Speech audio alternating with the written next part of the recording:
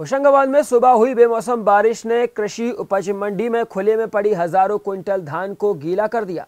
परिवहन नहीं होने के कारण ज़िले भर की कृषि मंडियों में हज़ारों क्विंटल धान खुले में पड़ी है।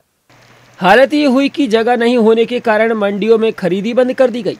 परिवहन होने के बाद ही खरीदी की जाएगी। जो किसान धान बेचने आए हैं, वे अपनी ट्रॉली लेकर रात से मंडी में पड़े हैं। उनकी धान कब खरीदी जाएगी, इसका कोई ठिकाना नहीं है।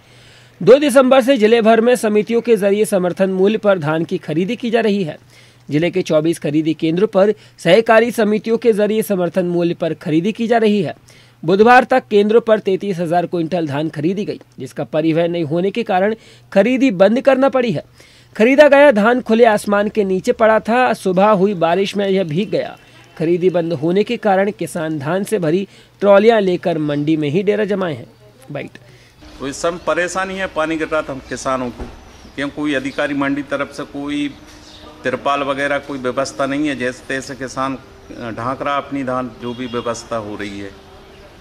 ये है वो कितना माल होगा अभी? कितने बोरे होंगे? लगभग जो गीले किसानों की दस बारह ट्राली हैं।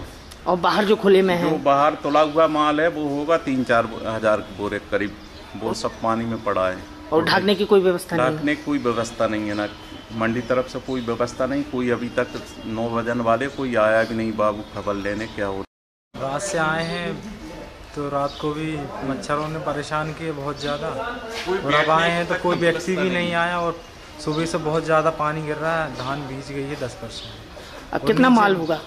तीन चार हज़ार कुंटल माल होगा। बहुत सारे कट्टे भीग रहे हैं कोई उसको ढाकने की कोई व्यवस्था? कोई व्यवस्था नहीं है ढाकने की। दबंग न्यूज़ के लिए होशंगाबाद से दुर्गेश सिंह राजपूत की